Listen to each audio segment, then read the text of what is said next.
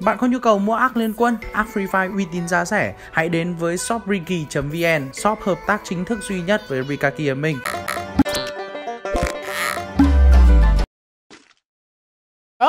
Xin chào bạn đã trở lại với Ria Gaming và chúng ta cùng nhau đến với ván đấu thứ ba cũng là ván đấu cuối cùng của trận chung kết của siêu giao đại chiến ngày hôm nay. Lúc này chúng ta đã có một đường bay kéo dài trong vườn làm Rimna và nó sẽ kết thúc trong vườn kho quân sự và để xem các em thủ trong ván đấu này họ sẽ triển khai cái chiến thuật như thế nào đây. Lúc này team Phú Quý không, đây không phải là team Phú Quý mà chỉ có hai thành viên của Phú Quý thôi. Đó là Hip DJ như là Bowie L. Thực ra đây là team Thiên Long Master, tôi biết là như vậy. Đây là BAG hổ tạ Boy and Girls mà này họ đang nhảy xuống một tháp đồng hồ nhưng nhảy xuống đây họ có thể đụng độ với team của Blue 18 cộng hay chăng team của Thành Mốc họ sẽ chọn đối vực kho quân sự nơi dưới chân của mình chứ. Đây, trong khi đó thì WAG họ sẽ đáp đối vực khu doanh trại và có thể rằng họ sẽ đụng độ với GPF ở đây. Đây là Phú Quý và họ đang tiến đến khu vực cảng lớn. Trong khi đó là WCDT SB cớm như là SC ơ, như vậy là team này có một sự thay đổi người. H công tử người ta không thi đấu tiếp trong trận đấu này và thay thế đó là SCB Fortnite hổ, một trong tay bắn khá cứng. Team của Blue Sarang từ 18 cộng, họ đã đáp xuống với tháp đồng hồ rồi và sẽ có pha giao tranh trong khu vực này. Tôi tin được như vậy đây là game giải trí mũi Apu. Mũi Apu vừa nhảy xuống em tức bị đối phương tấn công ngay và đang bị bắn rất gắt rồi. Anh ta bị hạ gục người, hạ gục đó là Ma BC phía Boss TV cũng bị hạ gục ở vị trí của WG Shake rồi. Lúc này Blue Sarang có mạng hạ gục ở vị trí của Phú Quý. Nhưng mà Blue Sarang đã phải nằm xuống, Phú Quý Bow IL có mạng gục cho mình. Bông Bow IL lúc này đang có pha đẩy ra. Blue Sarang bây giờ cũng đang phải nằm xuống cơ. Đi một 18 cộng họ đang có những pha giao tranh kỵ sĩ bị back khổ tạ bắn gục. Lúc này chỉ còn lại vô lý Kim Tròn thôi. Kim Tròn con chim anh ta đang có pha đẩy vào. Nay Kim Tròn chim không thể hiện được quá nhiều điều. Và bây giờ thì đang có pha đẩy vào rất nhanh từ vị trí của 18 cộng Kim Tròn. Nó đang được bắn hạ cùng với tên là Berserko có bạn cùng vị trí của back khổ tạ rồi. Game nó lại gọi là dễ anh em ạ lúc này thì phía bóng và phía dài 19 cm nó đang có mặt trong vườn đài quan sát. RGFF và đấu này thì họ lại quyết định là không nhảy khu vực khu danh trại. Vâng không hiểu sao mà đấu này những kiểu cảm giác khu danh trại đông quá. Nhưng lúc này họ đang có pha giao tranh cho mình. Chứ không phải đơn giản đâu. Một người bị bắn gục đó là Smile và ASP Tích có mạ gục cho mình là rất nhanh. Tân DZ cũng như là tranh và nắng cực thì họ đang có pha chờ đợi ở đây. Và đang được bắn khá tốt ở vị trí của nắng cực. Nắng cực vẫn đang tấn công, ta đã gây được khá nhiều sát thương. Và đang có pha đẩy vào. Và sẽ là có mạ gục vị trí của thanh bốc trẻ nghé rồi. Vâng khá đen cho thanh niên tm trẻ nghé vẫn chết được đời tấp nập. Không hiểu tại sao đâm sập vào mấy thằng này. Đây là team của nam lầy và họ đang có mặt trong vườn thành phố biển. Lúc này thì có vẻ như team nam lầy đang có được cho mình những cái pha lút đồ là tương đối tốt. Pro eric cũng như người đội của mình, họ đang có những pha chờ đợi trong vực này thôi. Thực ra thì bây giờ họ cũng không có gì phải vội vàng cả. Không có gì phải quá vội vàng, bởi vì trong màn đấu trước họ thi đấu rất tốt rồi. Lúc này thì chúng ta có sơ binzi cũng như là ôn cũng như là phê và binsu. Họ vẫn đang có những cái pha thi đấu là tốt cho mình. TN Dừa, TN Dừa gấu đẹp dai linh xe ôm cũng như là mạnh 2k5 thì họ vẫn đang có những cái pha gọi là tôi nghĩ là những pha chờ đợi mà thôi. Họ cũng sẽ không có những cái tình huống gọi là gắt gỏng gì cả. Cơ bản thì trong hai ván đấu đầu tiên thì họ đã không có được cái thành tích thi đấu quá tốt và đó lý do vì sao? Ở ván đấu thứ ba này thì cơ hội của họ là còn nhưng họ sẽ phải thi đấu rất cẩn thận phía bóng bị hạ gục từ vị trí của WG Shack rồi. Đặng cánh có mạ gồ vị trí của dài 19 cm và như vậy là team của Muay Apu họ đã bị quét sạch bởi team mạnh Phan Kỳ trong trận đấu này. Đây là TB xỉu nhi mốc cũng như là Neo Cave. Lúc này họ sẽ có pha di chuyển ở bên trong vực thung lũng này. À, lúc này thì team của Phú Quý họ đang chiếm với toàn bộ vực cảng lớn đồ đạc cũng khá là nhiều rồi. Đồ đạc cũng phải gọi là khá nhiều chứ không phải đơn giản chỗ nào đâu. Lúc này ASP cơm có mạ của cho mình và DT cũng đã có mạ của cho mình rồi. Vâng, liên tục là những mạ của có vẻ như team của Dừa họ đã bị quét sạch ở trong trận đấu này. Vâng, rất nhanh mà không sợ nóng. Đó là một pha tấn công từ vị trí của team của WCDT. Vâng, cái team này sao bắn ghê thế nhở? ASP cớm như là ASP tích và ASP bot hút hổ, họ đã có những cái pha tấn công là tốt cho mình. Và như vậy, quét sạch team của đối phương. Roaken Baso có mạng hạ gù vị trí của Binzi vâng có vẻ như càng bắn thì những cái team mà gọi là có những game thủ chuyên nghiệp như thế này, họ càng bắn lại càng hay. Vâng làm sao chơi đây? Một pha căn ke lên từ vị trí của Broken Baso nhưng mà lúc này đối phương đã có pha che đi cho mình. Vâng đối phương đã né đi cho mình ở khu vực này. Vâng Pro Eric team của họ đang, vẫn đang thể hiện là một trong những bộ mặt cực kỳ ghê gớm. Một trong những bộ mặt cực kỳ ghê gớm ở trong giải đấu này. 31 người chơi gì chúng ta còn lại cái diễn biến ở trong vòng đấu cuối nó diễn ra quá nhanh đi.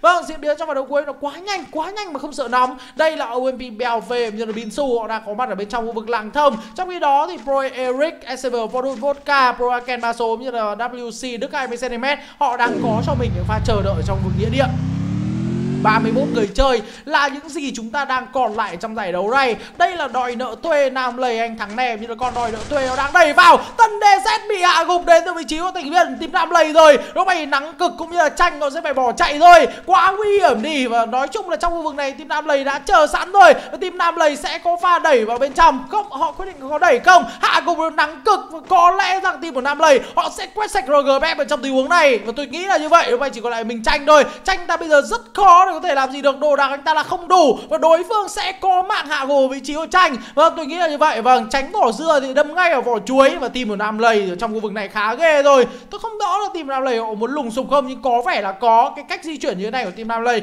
Có lẽ là sẽ lùng sục những thành viên cuối cùng của RFF đây là Pro Eric cũng như SCV Vodka, Ken ba số. Với Đức 20 cm có một pha nằm nghiêng rào nước để hồi lại cho mình lượng máu. Lúc này Đức 20 cm ta đứng lên ngắm, sau đó lại nằm xuống luôn. OMP mất đi cho mình đó Serbinji rồi. Và bây giờ thì MP họ sẽ di chuyển lên phía trên khu vực càng lớn. Như vậy là vòng bo nó lại thu ở phía dưới. Vâng vòng bo của chúng ta nó sẽ thu vào nửa dưới của bản đồ và nó lại lệch rất sâu về phía bên tay phải. Và như vậy là team của Nam Lầy họ sẽ có cho mình lợi thế cũng như là một số team đang có mặt trong vực cổng trời kia. Broken ba số bị hạ gục rồi. Vâng chuyện gì đang xảy ra đây? Đã có người ở trong vực trường tập bắn này và như vậy đã có một pha giao tranh nhất định. Dường như đó nhưng mà gồm đến từ team phú quý chăng? Vâng không? Không phải là team phú quý, mặc dù team phú quý họ đang ở rất gần vị trí này, nhưng không rõ ai là người vừa hạ gục. Vâng tình huống xảy ra quá nhanh và tôi đã không thể nào mà theo dõi kịp. Team ở nam lầy họ đang lùng sục trong thành thanh biển này. Trong khi đó thì Olympic tiếp tục mạng gục vị trí của vodka. Lúc này thì pro eric cũng như wc thứ 20 cm họ đang có pha phải bỏ chạy. Vâng team của omp họ đang kiểm soát cái khu vực này là tốt. Khi mà team của sv họ di chuyển qua, họ đã bị tấn công rồi. Và vừa rồi cái game nó lại trở nên khá khó khi mà bèo như là binsu bất ngờ có những mạ gục cho mình. Và quét sạch đi hai trong số 4 thành viên đến từ team Roy và phải nói rằng là trong giải đấu này có rất nhiều team tay to. Vâng, nếu như team nào mà tay bé chắc chắn nó không đến ở trong cái giải đấu này đâu. Và đây là một giải đấu team thực sự tay rất to. Đây là tranh ta vẫn đang nằm nguyên ở trong căn nhà. 18 cộng vô lý cũng như là 18 cộng kim tròn con chim. Họ vẫn đang di chuyển bên trong vườn xưởng cơ khí này. Và lúc này họ cũng chỉ còn lại hai người. Sau cái tình huống đầu tiên thì nói chung là họ đã bị quét sạch tương đối nhanh.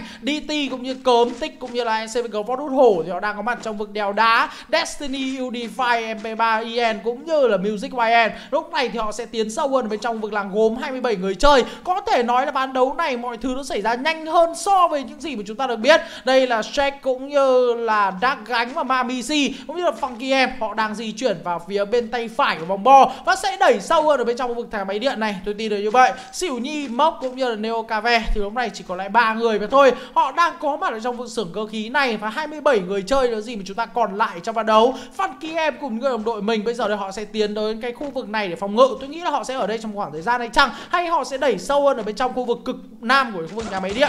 Destiny đã phát hiện ở đối phương đang có một pha sấy bằng cái cẩu XM8 của mình. Bao cái tường bom kèo đối phương có phá đi tường bom kèo không? Đã phá tường bom kèo rồi nhưng không thấy đối phương đâu cả. Unify cũng như Destiny, họ đang có những pha đẩy lên là rất nhanh. Tuy nhiên thì vòng bom này họ đang thu lại rồi và họ đang ở khá xa vị trí của vòng bo. WCDT ASB cớm tích cũng như là SCV Ford hút hổ thì họ sẽ đẩy vào bên trong khu vực khu dân cư. Và lúc này thì vẫn đang có những pha gọi là di chuyển rất nhanh của team này. Team này bỗng nhiên họ nổi lên như là một trong team thi đấu rất ghê. Và lúc này thì DT cũng như là cớm và tích họ đang thể hiện họ là một trong những cái tay bắn cực kỳ ghê gớm ở trong giải đấu này. Và nếu như đây là đầu tiên các bạn đến với kênh của Riga kia mình, đừng quên để lại cho mình một follow một cách ấn nhẹ và dấu cộng góc trên cùng bên tay trái hoặc ấn vào nút theo dõi nếu như bạn đang theo dõi mình ở trên PC đây là vô lý vô lý đang bị, đang được bắn chính xác hơn. Và tôi suýt nữa tôi nói là vô lý đang bị bắn và chính xác anh ta đang được bắn vừa rồi thì anh ta kéo đối phương có khoảng 200 máu rồi. Nhưng sau khi, đó là cái sát thương mà chưa trừ ở trong cái giáp. Nhưng mà sau khi sát thương trừ vào giáp thì nó lại câu chuyện khác. Đây là 18 cộng kim tròn, con chim. Ở lúc này thì, lúc này con chim anh ta vẫn đang có những cái pha thi đấu là tốt cho mình.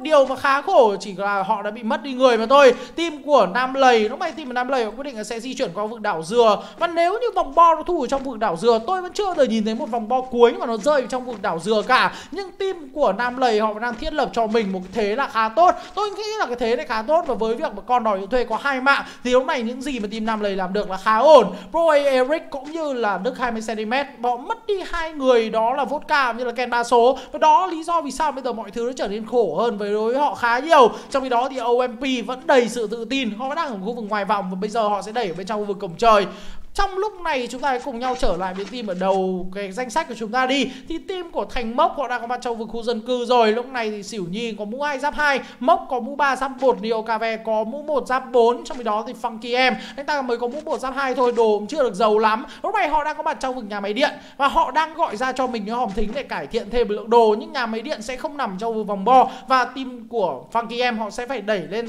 xa hơn. Lúc này thì đang có những pha hồi máu cho lẫn nhau và lúc này tôi nghĩ rằng team của Phú Quý họ đang ở rất gần vị trí của team OMP đang ở rất gần OMP tôi tin là như vậy. Lúc này thì uh, uh, Phú Quý Music anh em vẫn đang chờ mà thôi. WCDT, ASB cớm cũng như là ASB tích và ASB vũ thổ họ còn loại nguyên cả bốn người. Bây giờ thì họ đã phát hiện ra trong cái khu vực này có người. Đảo dừa sẽ không nằm ở trong khu vực vòng bo và như vậy thì team Nam Lầy họ sẽ phải di chuyển ngược trở lại bên trong khu vực vòng bo này. Lúc này thì ông Bife có mạng ở gồm với chiếu Unify. vâng như team Phú Quý họ đang di chuyển thì họ bất ngờ gặp team OMP và trong màn đấu trước cho đến màn đấu này thì bỗng nhiên team OMP họ thi đấu rất hay. Vâng bỗng nhiên OMP họ lại lấy được cho mình cái sự tự tin rất cao bởi vì lúc nãy thì họ đang mấy thằng đi xe mà họ bắn rộng thì đừng nói thằng đi bộ mà họ bắn lại không rộng và lúc này thì đang có những cái pha chờ đợi cho mình, đến từ vị trí OMP Bell về như là Binsu và lúc này đang có pha đẩy lên rồi, sẽ có pha đẩy lên từ vị trí OMP hay chăng? Trong pha đấu này thì vẫn chưa quá nhiều những pha giao tranh để chúng ta có thể được gáy được ờ, team của Nam Lầy quyết định là sẽ quay trở lại và trong khu vực vòng bo. Nhưng bây giờ thì di chuyển qua đường nào? Ducap qua nhà máy điện chắc chắn không ổn. Đi cầu cũng càng không ổn. Bây giờ chỉ có Ducap về phía khu vực đèo đá thì có vẻ là sẽ ổn hơn. Nhưng đối phương sẽ kiểm soát trong vực đó. Đây là OMB Bell và họ đang có pha đẩy lên. Lúc này đang bị bắn rồi. Đang định chuyển camera thì Bell đã bị tấn công vị trí đối phương và Bell đang có pha trả lại sát thương. Nhưng có vẻ đối phương không quyết tâm giết họ cho lắm. Vâng đó chỉ là một viên đạn từ rất xa mà thôi. Lúc này thì Bell tạo không mất đi quá nhiều máu, mất khoảng 20 máu. Đang có pha tấn công, đang có pha tấn công. Lúc này thì đang có những pha chờ để xem là team nào đang bắn vào vị trí họ đây. Đang được bắn từ vị trí của phê phê đang bắn là khá tốt, được gây ra khá nhiều sát thương rồi. Đã có pha hạ gục rồi và sẽ có mạng gục vị trí của phú quý destiny MP3 cũng bị hạ gục luôn. Và như vậy là team OMP họ đã quét sạch team của Phú Quý trong bàn đấu này chưa? Vâng vẫn là chưa. Vẫn còn lại một người còn sống Và một người rơi rớt đó là Phú Quý Music. Vâng Music tiếng Anh đó là âm nhạc. Vâng cuộc đời anh là một bản nhạc buồn. Nhưng hôm nay thì chẳng có cái gì remix để cho lên luôn được cả. Và bây giờ thì có ba người lên rồi. Ba người lên bảng đếm số. Bây giờ chỉ còn đang chờ Music lên bảng đếm số cùng rồi thôi. À, Trong khi đó thì đây là Funky em cùng với đội mình. Một vị trí nấp là rất tốt cho team của Mạnh Funky Họ có bốn mạng hạ gục rồi và nếu như ván đấu này họ duy trì một cái top cao, cũng như có thêm vài mạng hạ gục nữa thì sẽ là khó, sẽ là khó cho những team khác mà có thể cạnh tranh cho họ vị trí top 1 trong giải đấu này. Đây là team của thành phố xỉu nhi mốc cũng như là neo cave thì đang có một pha căn ke vào bên trong vùng khu dân cư. Để xem là vòng bo này nó thu vào đâu đã. Vòng bo này thu vào đâu với cả điều quan trọng này, sống dai có trở thành huyền thoại hay không? Vòng bo vòng bo nhân phẩm nó rơi vào phía trên của khu vực đèo đá, ở phía dưới khu vực cổng trời. Vâng rất khó chịu một cái vòng bo mà nó đỏng đảnh hơn cả người yêu cũ nữa. Đây là mạnh văn kỳ, bây giờ thì họ sẽ phải băng qua khu vực khu dân cư với hằng hà xa số, những cái cạm bẫy. Music, ơ, lúc này music lại ngon rồi. Vừa nói được cuộc đời có được remix không ngay lập tức đã được vòng bò remix. Nhưng hôm này thì giá như mà còn một hai người đồng đội thì có phải là vui hơn không? Để cùng nhau nghe nhạc. Lúc này người ta đang có nhưng nghe nhạc một mình vậy. Team của WCDT cớm như tích và EC bóng thổ đây là cơ hội rất tốt để có thể lên vị trí top 1 rồi. Không còn cơ hội nào tốt hơn được nữa. 18 cậu phát hiện ra vị trí của thành mốc, bắn cho mốc mốc người luôn rồi. Tiếp tục ở pha sấy vào trong tường bóng kèo này và sẽ cố gắng phá vỡ cái bóng kèo này hay chăng? Kim tròn đang được bắn, kim tròn bắn gol được vị trí của neo cà phê. Và như vậy là tìm của thành mốc đã bị quét sạch chưa? Vâng khá khổ được vị trí của tìm thành mốc hôm nay thì tranh anh ta ốt cũng vào được vòng rồi, thơm thật. Trong khi đó thì đây là team của nam lầy. Team nam lầy là những người phải di chuyển rất xa bên trong vòng bo. Vâng vòng bo đội các đội khác nó không độ nam lầy. Vâng sao lại khổ thế nhỉ? Bây giờ thì nam lầy sẽ có những pha đẩy vào. Anh ta nó úp mặt vào tường để có những pha hồi máu cho mình cái vị trí nấp của team Nam là tương đối tốt. Tuy nhiên thì họ sẽ phải nhanh hơn. Lúc này thì Pro Eric có pha di chuyển rồi nó sẽ chuẩn bị đụng độ với thành viên của Nam Lầy Tôi tin là như vậy. Vâng rất gần nhau luôn. Họ rất gần nhau luôn. Đây đây đây rồi, đôi giày. Anh thắng này phát hiện đối phương rồi. Đang được bắn, đối phương đang bị tấn công rồi. Nhưng anh thắng này đã bị hạ của MB40 Có vẻ như team Nam Lầy họ phản ứng là hơi chậm. Nam Lầy anh ta vẫn chưa hiểu chuyện gì xảy ra hay chăng?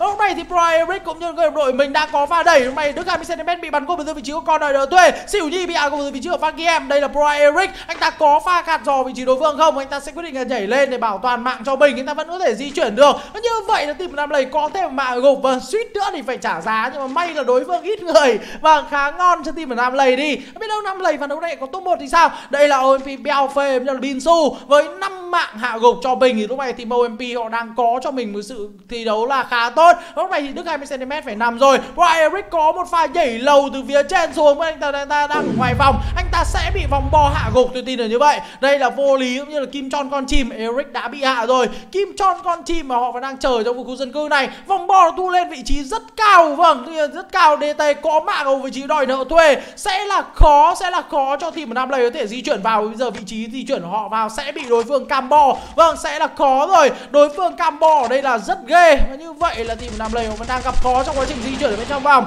Đứng ở chỗ quá đồng không bông quạnh đi. Khó rồi, rất khó. Đội này tích cũng như là cớm họ đang có những và tấn công xuống. Đây là DT và DT rồi ông này ở team WC cùng với team của Mamisi và Cú Tứ đây. Vâng bắn không trượt phát nào. Mà tôi nghĩ là team của Nam Lầy họ sẽ phải họ sẽ phải đứng ngoài bò và chết ngoài bò hay chăng?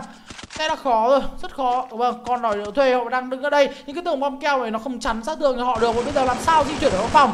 Bây giờ thì làm sao di chuyển ở vòng Di chuyển cắt qua khu vực khu dân cư ừ, Cũng có thể Nhưng Nam Lầy vừa di chuyển ra bị bắn gục ngay. Bị bắn gục ngay từ vị trí đối phương Đặt ra tường bom keo Nhưng Nam Lầy sẽ phải bỏ mạng. Đó là bạo gục dưới vị trí của SC và Và anh thắng này Anh ta sẽ phải chết ngoài bò Như vậy team Nam Lầy sẽ bị quét sạch ở bản đấu này. Trong khi đó team của WCDT Đây là team của H Công Tử Và này thì họ đang có cho mình đốt 7 mạng hạ gục rồi. Vâng, đã chạm đến con số 7 thần thánh rồi. Trong khi đó team của Funky Em Như vậy là team của Nam Lầy Họ bị quét sạch của bản đấu này. Vâng, rất nhanh mà không sợ nắm. Cái cách di chuyển đấy thì là khó. Đắc Gánh có mạng gồm vị trí của người chơi team 18 cộng. Lúc này thì team của Mạnh Funky họ sẽ đẩy ở bên trong vòng. Họ có đủ tất cả mọi người chơi. Music YM bị hạ xuống đến từ vị trí OMP binso.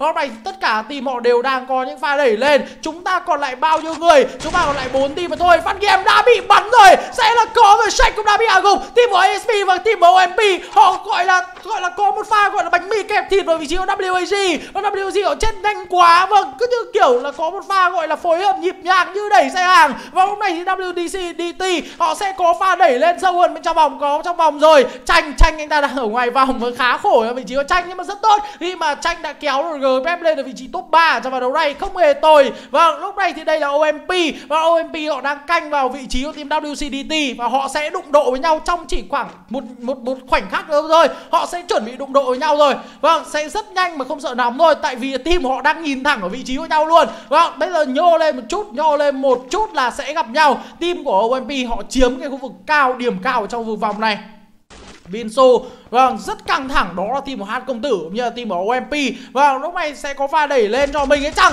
Đang được bắn rồi, cớm bắt đầu mở bát và tôi đã nói rồi. Hai đội này đứng rất gần nhau Hai đội đứng cực kỳ gần nhau luôn. Và nói chung là đây là team của ASP Họ sẽ có pha công vào từ vị trí OMP một hai quả lựu đạn, ui ném lựu đạn ghê thế nhở? Có cả M79 ở vị trí của team này luôn. Bèo đã bị bắn gục rồi, sẽ là khó cho Bèo. Phê cũng sẽ bị hạ gục luôn. Và bây giờ thì Binsu sẽ có pha đẩy vào. DT ta có cho mình. Ui bắn M79 này gọi là IQ 1 tỷ luôn. Tiếp tục câu bờ vị 239 sát thương. DT sẽ có pha để vào DT đang được tấn công rồi. Họ sẽ sấy vỡ cái tàu bóng kèo này, Họ sẽ quét sạch team mp ở trong trận đấu này. Cớm đang có pha đẩy ra rồi. Tích đang được bắn, Tích đang được bắn là khá thoải mái. Lúc này chúng ta còn lại 7 người thôi. Bèo đang cố gắng có pha chống cự cho mình. Nhưng mà chống cự thì bụng nó có bự hay không? Đang được bắn từ vị trí của Phê Phê vẫn đang tấn công. Phê có pha cắt ngang thì chưa kịp bắn vào đầu. Và suýt nữa thì bắn vào đầu. Nhưng mà không bắn vào đầu mà lại bắn vào đầu khác. Đang có một pha tấn công từ vị trí OMP Phê rồi rồi xu như Bèo đẩy lên Bèo tiếp tục bị hạ gục. Binsu có trong tay đó là M19 đang được cố gắng gạt dò đối phương. Liệu rằng OMP họ có chiến thắng trong trận đấu hay không? Bắn gục tên được một người nữa rồi. Và bây giờ không được rồi. Vâng đó là bạn cùng đến từ vị trí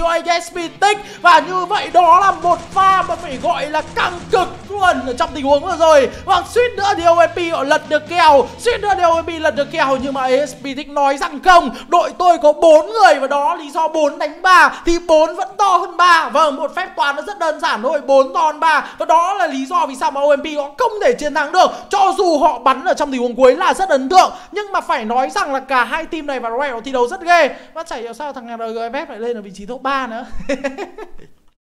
Dị thật.